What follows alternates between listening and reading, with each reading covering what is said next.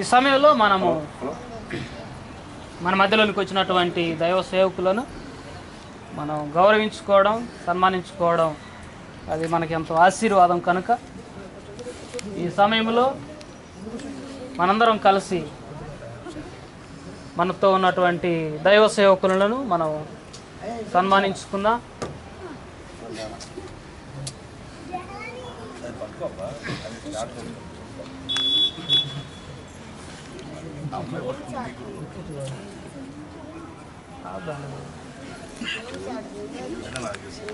Dur.